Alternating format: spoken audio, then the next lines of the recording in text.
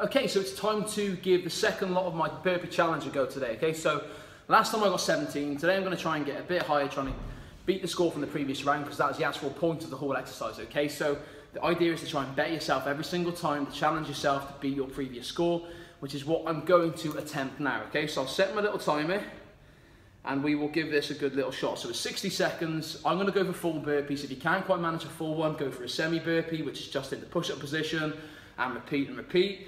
Full burpee is chest to ground and then back up. Okay, so just setting up my stopwatch. We're gonna go in three, two, and one, and here we go. Remember to get that little jump in.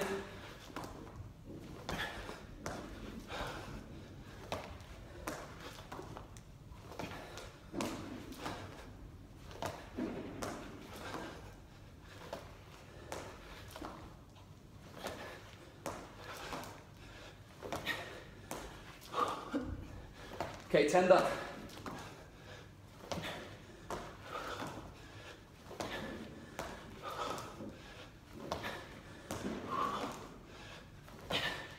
It's 14.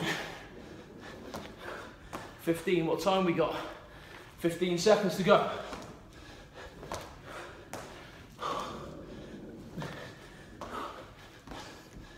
Okay, it is 18.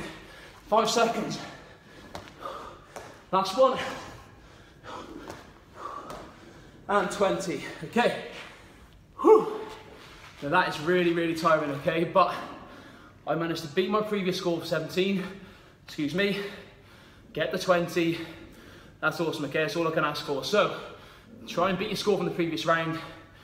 If, you, if you're doing semi-burpees, try and advance on the full burpees.